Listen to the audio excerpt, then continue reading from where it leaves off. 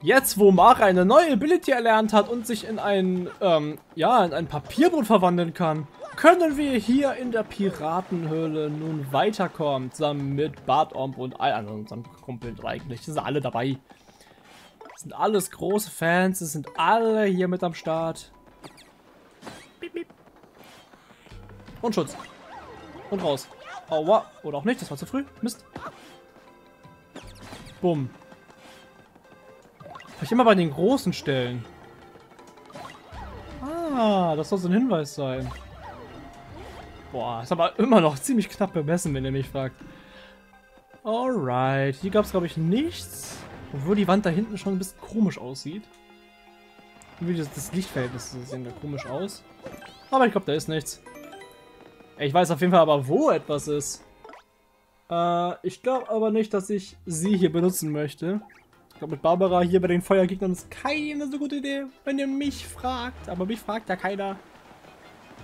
Ich werde nie gefragt. Ach man. Komm schon, Spiel, was soll denn das? Wir suchen hier irgendwo noch eine Platte, wo wir uns in ein Boot verwandeln können, um dann links die Kurbel zu finden. Was sie dann macht, die Kurbel, das werden wir dann herausfinden. Vermutlich irgendwas am Wasserfall oder so. Oh, äh, äh, äh, Barbara. I need you again. Obwohl ist es eigentlich nicht voll dumm, hier Barbara zu benutzen, weil wir sind ja dann unter dem Boden, also in den Stacheln drinne. Na egal, ich verstehe diese Phantomwelt hier nicht. da war doch gerade eine Plattform. Ja, aber hier ist nicht noch eine. Da, da waren wir lang.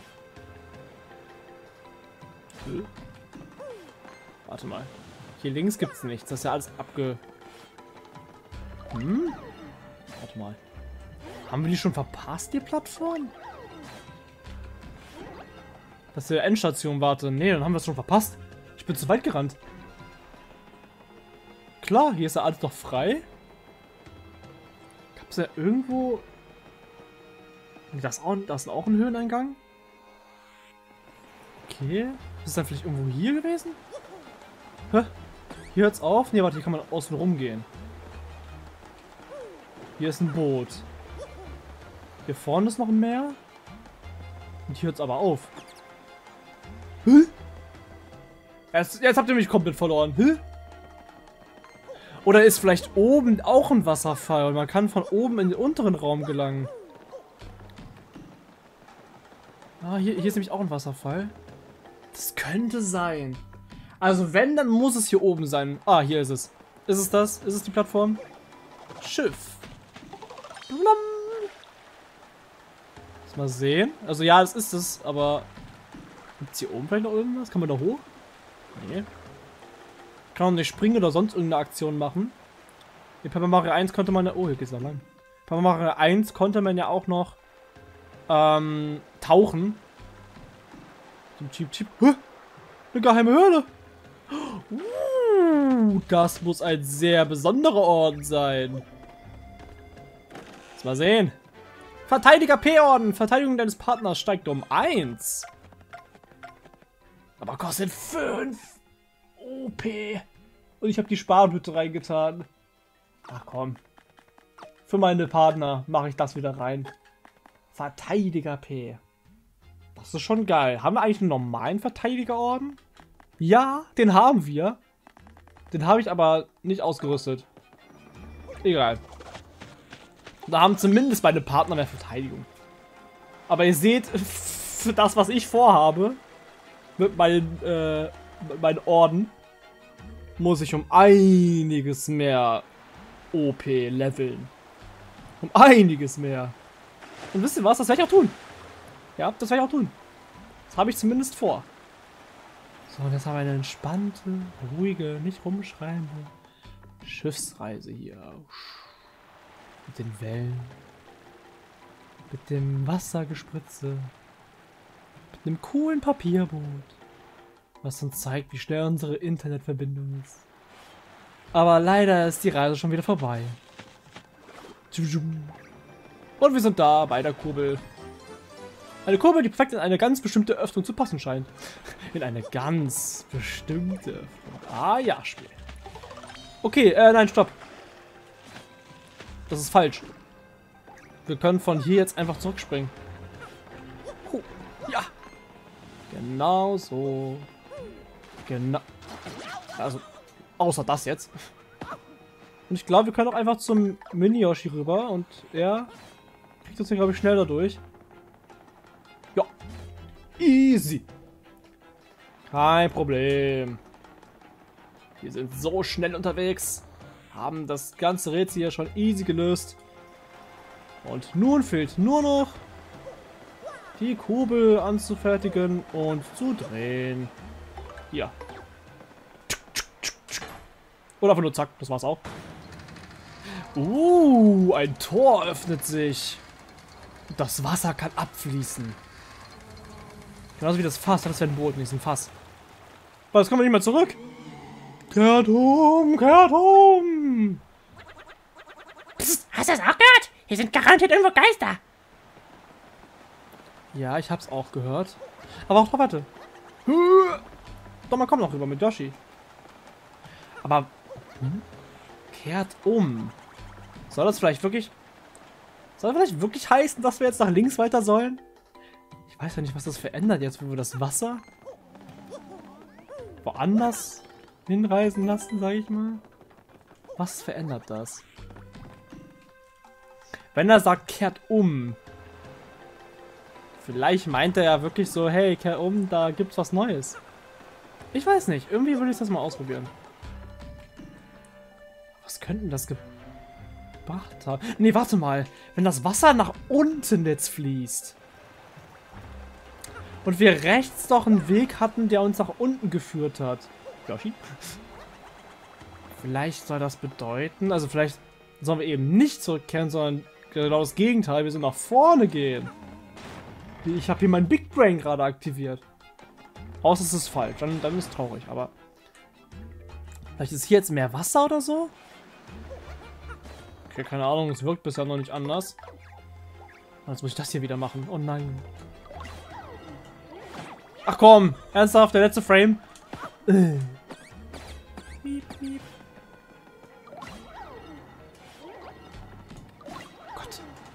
Hasse diesen Raum. Auch ein bisschen spannend, ne? Nein, Barbara wurde erwischt.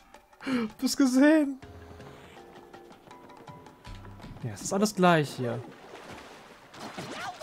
Andererseits, schaut mal.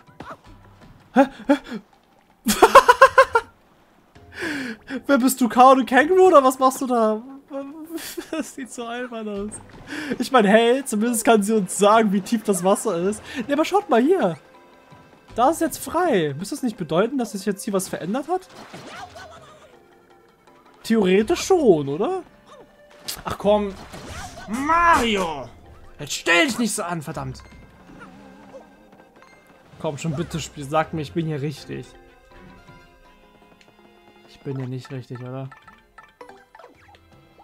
Ah, ich weiß nicht, wo es lang geht. Oder geht's oben weiter? Nein. Oder? Ich überlege gerade wirklich, wo es weitergehen könnte. Ich bin hier, glaube ich, komplett falsch wieder, oder? Bin ich falsch? Ich bin falsch, ne? Okay. Ähm, dann werde ich auch nach dem Weg suchen. Oder habt ihr vielleicht einen Hin Hinweis? Fahren wir doch oben am großen Wasserfall noch einmal als Schiff los und segeln nach, was hinter der Schleuse liegt. Oh!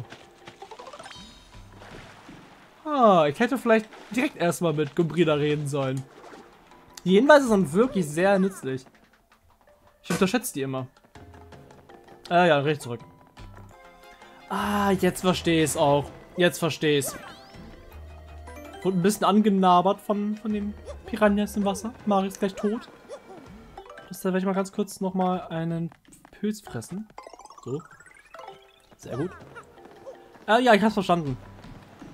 Unten bei diesem Raum mit den Stacheln, die aus der Wand rausragen.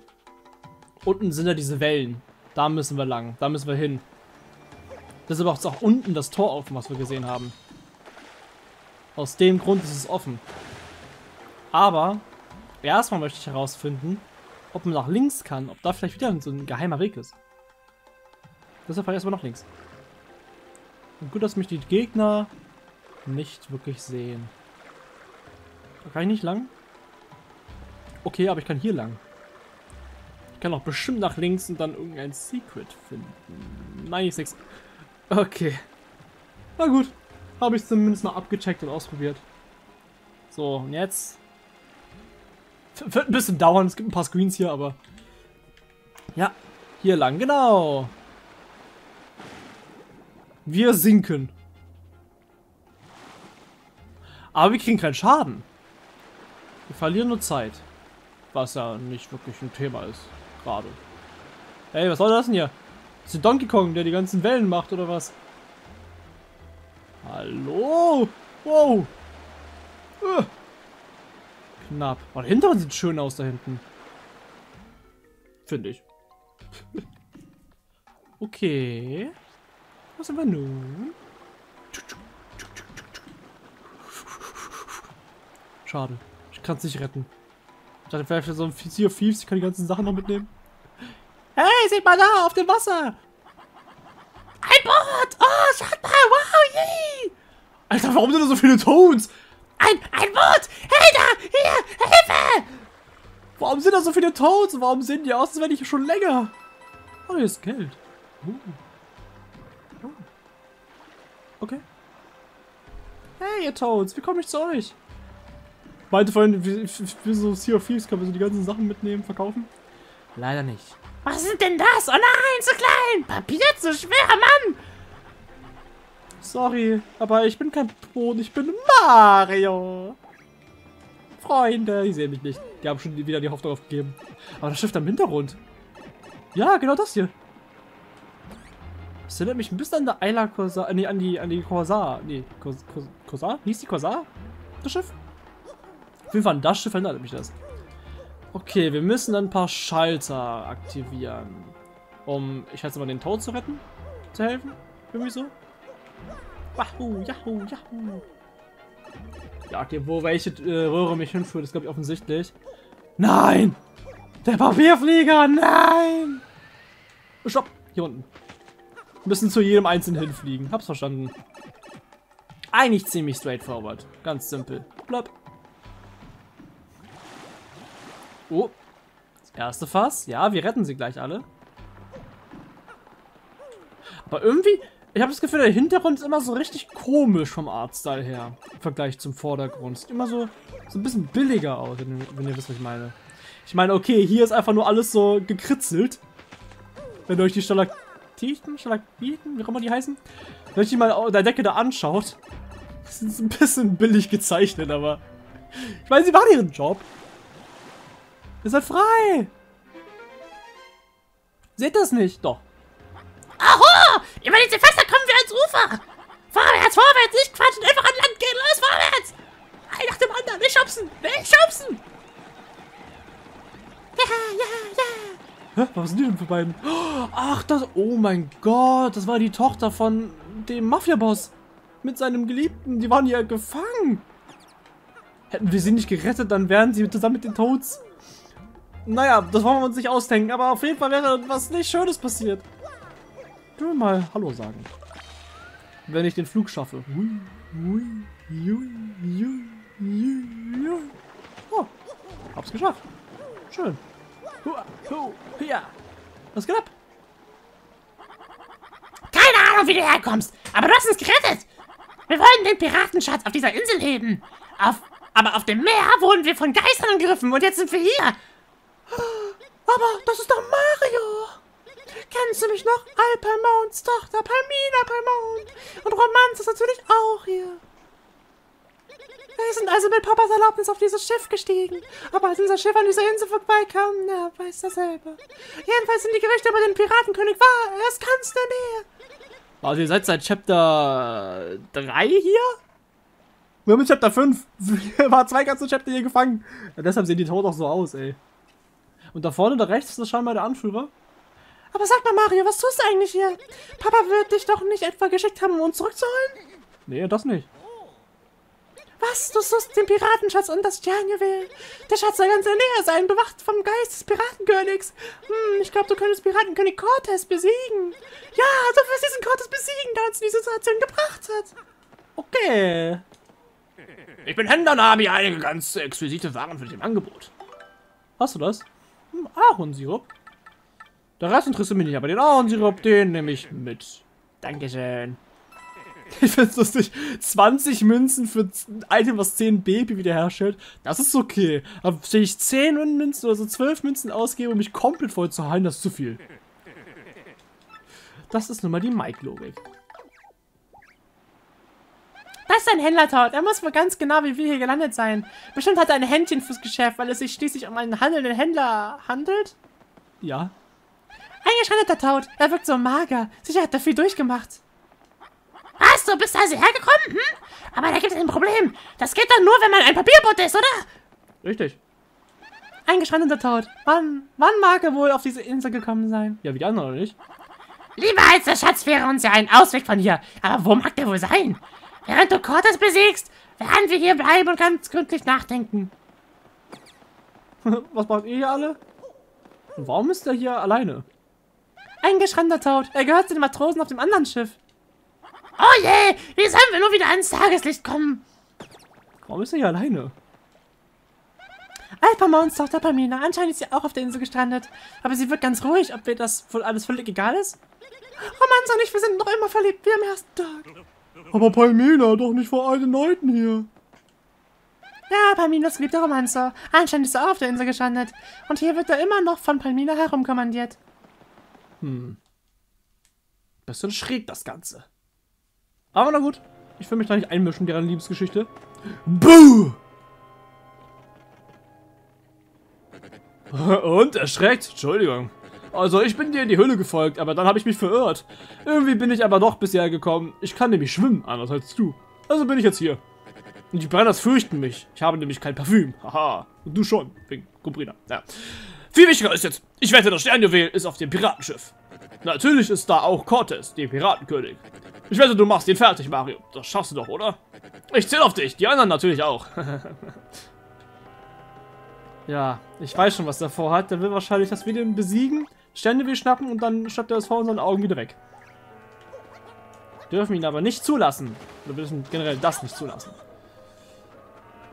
Hm. Wie sieht es eigentlich aus? Ja, doch, es sieht okay aus. Wir können eigentlich jetzt schon den Kampf machen. Das ist also sein Schiff hier, ja. Piratenkönig Cortez Schiff. Ist er vielleicht in seiner Kajüte? Oh, dein Leben ist mein, ich warte hinter der Tür. Lass alle Hoffnung fahren. nö, wir drehen uns so. Nö, nö. Wir kämpfen jetzt sofort auf der Stelle. Kein Warten mehr. Nicht nächste Folge, jetzt. Ah, der Schatz. Uh, bleib fern von meinem. Oh, Was zum. Wie siehst du aus, hä? Na, endlich widersprechen wie ein normaler Pirat. Warum sieht er aus wie ein Geisterbläster? Bleib fern! Nein, hau ab beim Klabautermann! Landratte, ich raube mir einen Schatz zusammen und du willst ihn mir stehlen? Oder, äh, du wagst es. Das hier ist mein Revier, verstanden? Oder willst du das nicht kapieren? Pass auf, ich mach dich zu Fischmehl, du. Bist du bereit? Boah, Bosskampf. Sind wir schon im Finale von dem Chapter? Ich meine, ich mag die kurzen Chapters, die sind insgesamt richtig cool zusammengebaut. Oh, oh, oh, apropos cool zusammengebaut, was ist das denn für eine Monstrosität? Was zur Hölle? Also, ja, das nenne ich an einen König, aber ein bisschen tot, oder nicht? Was ein cooler Hut. Ich meine, das ist Cortez. Die Leute dieser Gegend fürchten noch immer diesen Geist des Piratenkönigs. 20 KP für angreifende Verteidigung. Er scheint wenige KP zu haben, dafür hat er als Geist aber viele Leben. Außerdem kennt er einige besonders fiese Attacken. Ein gefährlicher Gegner also. Du sollst ihm ganz einfach so viel Schaden zufügen, wie du kannst, Mario. Dann wirst du diesen elenden Geist schon irgendwie besiegen können. Du meinst, er kann sich immer wieder aufrappeln und wir müssen ihn mehrmals besiegen? Warte mal. Beinhaufen. Aber ich habe doch Cortes gescannt. Da ist ein Beinhaufen? Was soll ich denn unter einem Beinhaufen verstehen? Sollen wir den erstmal besiegen? Ja, es tut ihm auf jeden Fall weh. Vielleicht kann man ihm nicht schaden. Ich weiß es nicht. Wow! Oh! Sticht er uns ab hier. Oh, Gombrina hat so, so eine blutende Wange, so eine blutende Wange jetzt. Ah, verdammt! Ne, ich glaube, springen können wir da nicht drauf. Ähm, wir sollten vielleicht professionellere Hilfe holen von jemand anderen. Bartom vielleicht? Er könnte vielleicht ja ein bisschen mehr hilfreich sein. Bam! Sonst weiß ich nicht, wer uns helfen könnte. Kupio vielleicht. Er könnte ich mir noch vorstellen, könnte uns hier helfen. Aber egal. So, Kollege, nächste Runde ist dein Haufen weg. Haha, eingefroren. Du Idiot. Bam. Ich weiß nicht, ob es richtig ist, was ich mache, aber es wirkt auf mich auf jeden Fall richtig. Erstmal vielleicht so einen Haufen anzugreifen oder so. Okay. Die Musik geht richtig ab. Hört ihr das? Ja, wenn ich die Musik mal wieder zu laut aufgedreht habe, dann hört ihr es auf jeden Fall. Ah! er lässt seine Waffen fallen. Hä? Was zum... Uh, jetzt hat eine neue Form. Das ist seine Zerrweltform. Giratina, bist du es? Okay, ähm... Können nochmal seinen Beinhaufen angreifen. Ich schätze, wir müssen es die ganze Zeit kaputt machen, weil ihn selber angreifen wirkt wohl nicht. Na gut, wenn das so ist, dann immer wieder den Hammer rausholen.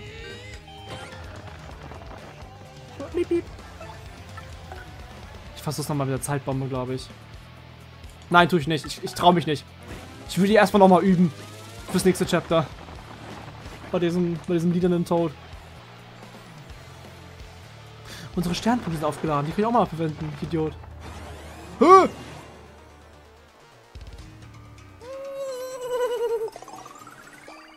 Ist gar nicht gut, Freunde.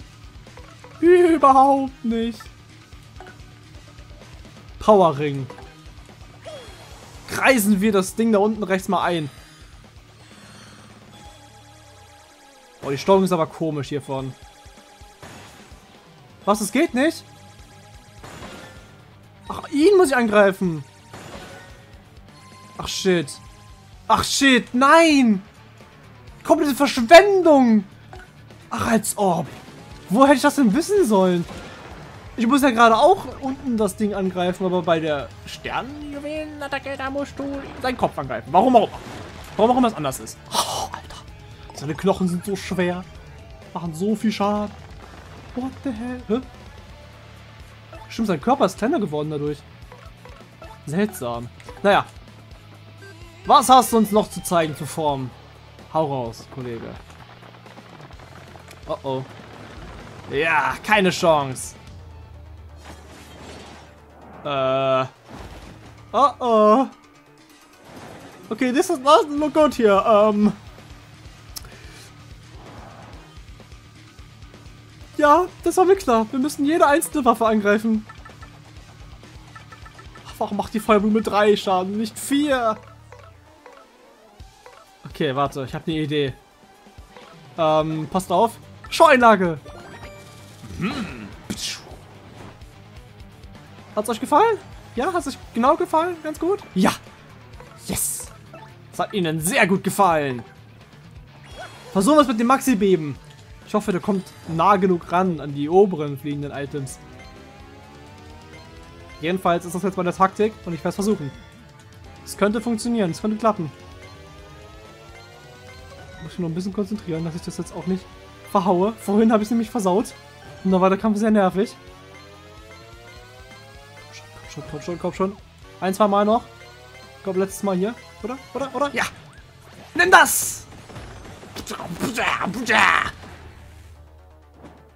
Bam! Seine Waffen sind kaputt. Aua, er beißt uns. Hast du ein Problem oder was? Oh, die Musik geht richtig ab. Feier das. Ich glaube, wen hole ich da? Wer kann am besten springen? Ah.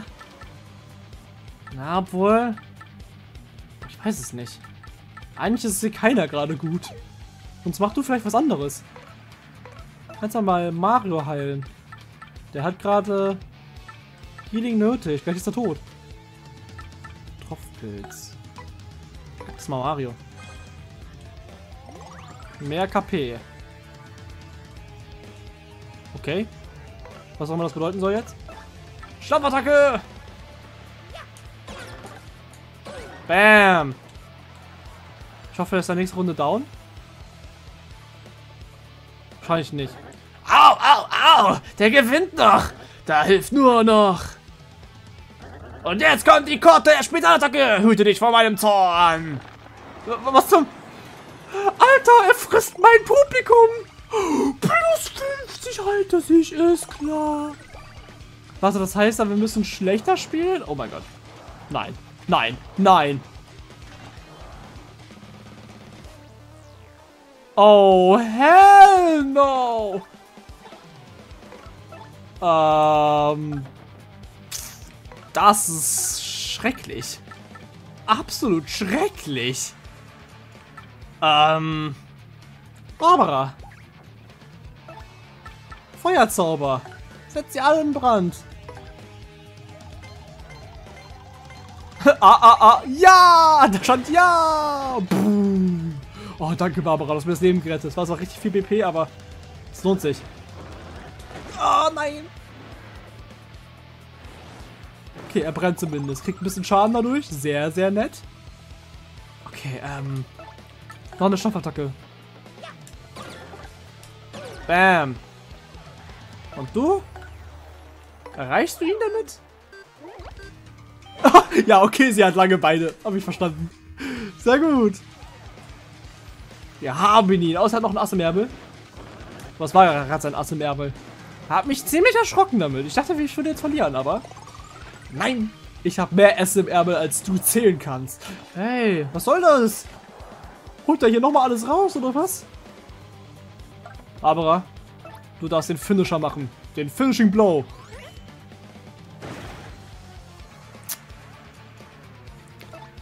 Wenn ich treffen würde, dürftest du es. Egal. Besiegen wir ihn einfach. yeah, ist auch so. Okay, passt schon. Ist okay. Boah, kriegen wir viel. Ja! Oh mein Gott! Doppelte XP! Schatz, was ist das? 32 kriegen wir jetzt? Oh. Was? 100 Münzen und 64 Erfahrungspunkte. Also wenn das nicht crazy ist. Oh mein Gott. Endlich mal ein guter Zauber. Nein, es reicht nicht. Zwei Level fehlen. Äh, zwei XP fehlen. Nein! So fühle ich mich auch gerade. Mein Schatz! Uh.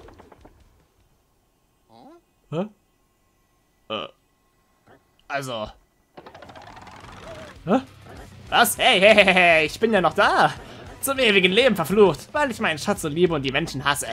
Und wenn ich besiegt werde, tja, ich bin ja schon tot. Ich liebe meinen Schatz, habe nur keine Lust mehr, ihn dauernd zu belachen. Äh, okay. Was? Du bist gar nicht hinter dem Schatz her? Aber wieso bist du dann extra hier bis hierher? Äh. Äh? Was? Das ist alles, was du willst? Das Ding? Bloß diesen lausigen Stein? Ist dein Ernst? Aha. Aha. Gut, dann sollst du den Stein haben. Kein Problem, egal. Ein Juwel mehr oder weniger. Was macht das schon aus? Besonders hübsch finde ich ihn auch nicht wirklich. Also, hä, so dunkelblau, der passt überhaupt nicht zu meinen gelben Geschätzen hier. Ich weiß nicht, ich mag ihn nicht. Du kannst ihn haben. Danke für den coolen Kampf. Äh, okay. Ich schätze, so einfach geht das. Du erhältst dein fünftes Sternjuwel. Sternenergie ist jetzt bei 6. Wir lernen die Attacke super fit.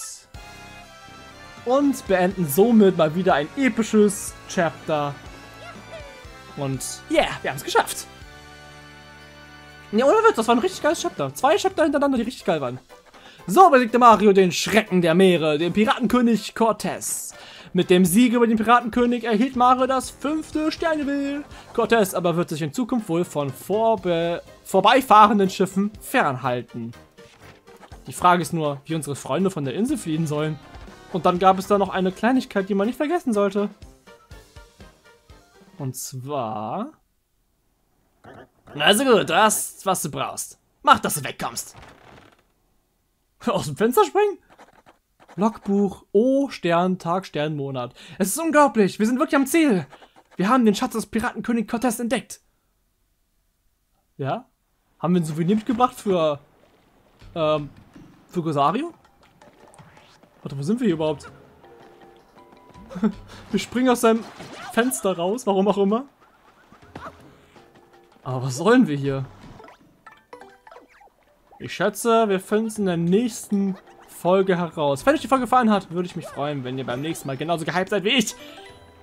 Auch wenn das große Hype, der große Hype-Moment jetzt gerade zu Ende war. Es werden noch viele weitere kommen. Ich verstecke mich jetzt erstmal hier im Schiff. Und ruhe mich aus.